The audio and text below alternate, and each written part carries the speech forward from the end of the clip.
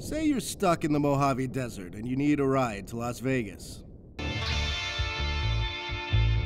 And say you're picky and you don't want to arrive in Sin City in any old Honda.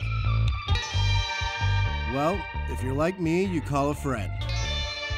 One who happens to have his very own homemade self driving car. Problem solved.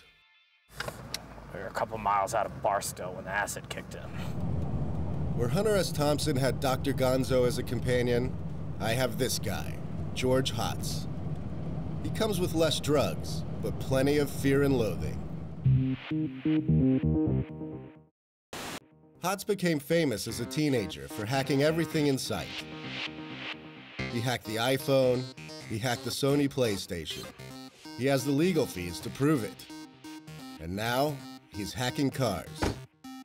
He stunned the world last year by building this self driving car by himself in his San Francisco garage in just a couple of months. I visited him back then to see his Acura, packed full of cameras, radars, and artificial intelligence software. Unlike the Teslas and Googles of the world, Hotz doesn't give his car a litany of rules to follow. He basically just drives the thing, and the car learns to mimic the behavior and does so better and better over time. Don't get off the exit. Don't do it. I know you want to. I know you want to. I know you see that exit. Oh, good job, car. Hotz hasn't bested Knight Rider yet, but he has achieved Hasselhoff-esque heights of confidence. Meanwhile, back on the road to Vegas. Soon, we'll probably be able to drive without radar. Just using the camera. Just using a camera. And cameras, like our cell phone, that camera is good enough to drive the car.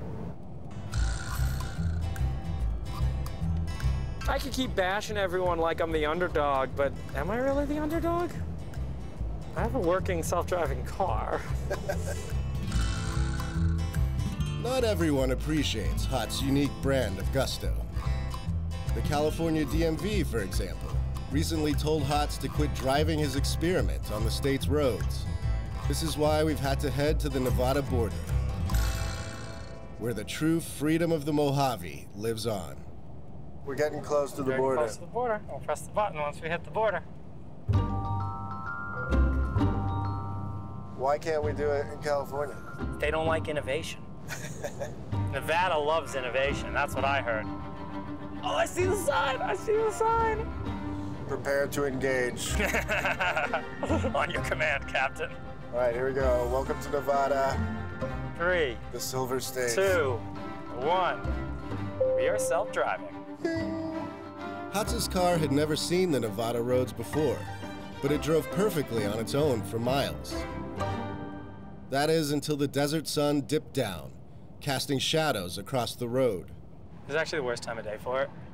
Uh, the contrast is not very good because the sun is so bright still and the road is so dim. And look, you see, no, no, no, you can't drive. Wow. Look, I can't see anything in the picture. This is really bad. What does No. this make you think? Is this something you can fix over time? A lot of this has to do with the camera. A lot of the bug right now is just because the camera can't see. As we finally made our way onto the Vegas Strip, I tried to cheer him up. Well, let's just see what happens. It might go too soon. It might go too soon. Oh no, it sees him there. It sees him there. Yeah, go car, go! Here we go. Woo! Woo! Don't hit the van! Don't hit the van! Oh, Ooh! nice. Very nice. Whoa! Was closer than it should have gone. Hotz's car passed the test. and his existential angst lifted. The legend of Dr. Hotz lives on. Feeling better now? Yeah, that was good. That was good. Full autonomy. Haven't disengaged.